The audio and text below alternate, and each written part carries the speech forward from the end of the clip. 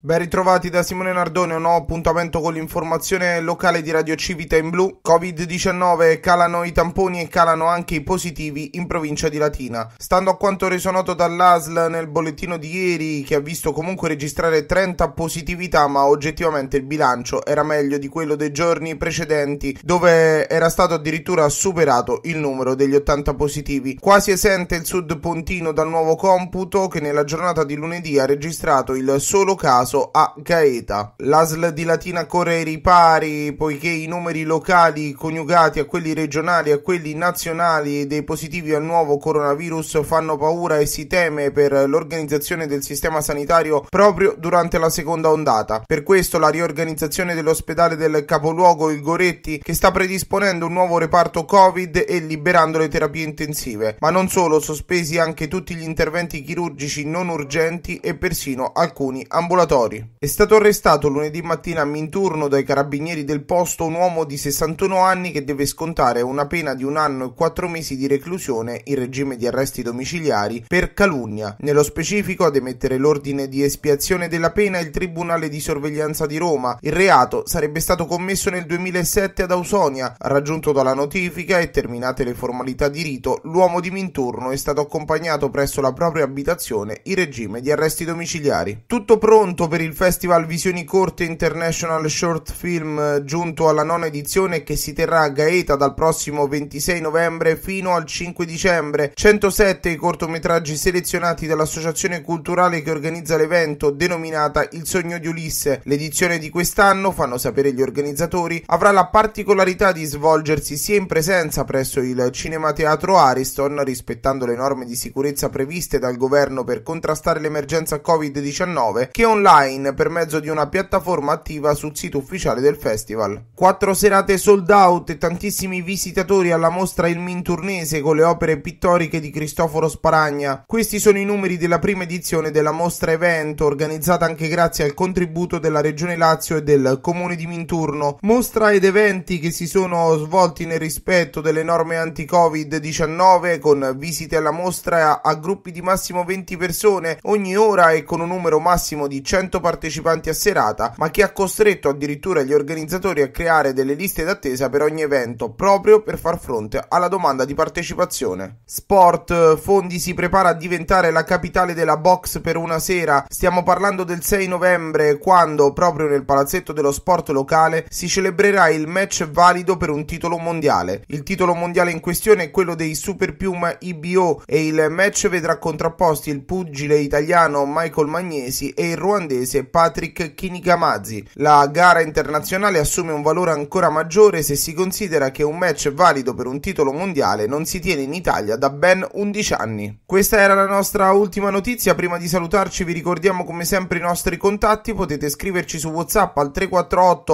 888 1447 o se preferite via mail a radiocivitemblu.gmail.com. Un saluto da Simone Nardone, a risentirci ai prossimi aggiornamenti con l'informazione locale.